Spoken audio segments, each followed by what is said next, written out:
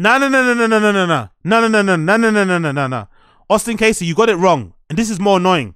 Austin says, um, I bet, I bet Erik is one of the type of people that says, "Excuse me, I didn't get my side of ranch." He's more annoying than that. He's the kind of person. I bet you they're not to bring my ranch. Every time I come in here, they never bring the ranch. They never bring it. I don't know why. You order the wings and never bring the ranch. It's so fucking annoying. The, the waitress comes. Oh, here, here's um, who's who's got the wings? Oh, me. Thank you. The wings come. There's no ranch. See what? See what I mean? They haven't got the ranch.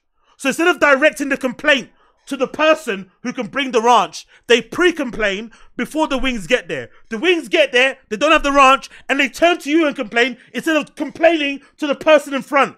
Then the person in front leaves, and then they go. Oh, then you have to get the person to come back. And then it takes them, and you almost have to pull teeth to get them to complain to the waitress because now they feel like, oh, now you put me on the spot. Bitch, you want the ranch? Ask the person who can get the ranch. That's the most annoying thing that he is. That kind of person.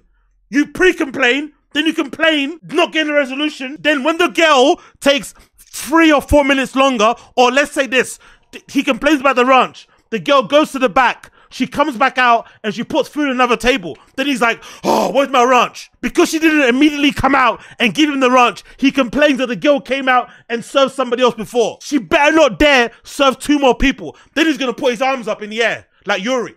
Oh, where's my ranch?